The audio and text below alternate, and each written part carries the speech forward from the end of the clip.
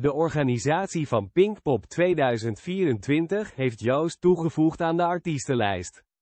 Dat maakte het festival gisteren bekend via Instagram. Ze schrijven, ondanks dat de line-up al compleet was, is er één act die wij dit jaar absoluut niet willen missen in ons programma. De act van de zomer, en daar voorbij, keert na twee jaar terug op onze festivalweide, om deze nog harder op de kop te zetten dan hij in 2022 al, bewapend met nog meer hits, nog meer fans en een ongeëvenaarde podiumenergie, verwelkomen we Joost op de Pinkpop zaterdag voor een speciale show. Fans van de zanger die kaarten hebben voor Pinkpop, kunnen van zijn optreden genieten op 22 juni. Joost zal de muzikale start van de dag gaan vormgeven met een speciale show. Andere artiesten die onder meer van de partij zullen zijn, zijn Ed Sheeran, Calvin Harris, Avril Lavigne en een andere oud-songfestivaldeelmer, Mainskin.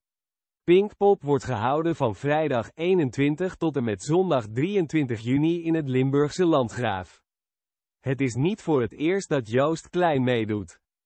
Twee jaar geleden maakte hij zijn opwachting ook op het festival dat bekend staat om de roze hoedjes. Wil jij Joost Klein live in actie zien? Dat kan. Er zijn namelijk nog kaarten voor Pinkpop beschikbaar. Die kun je kopen via ticketmaster.nl.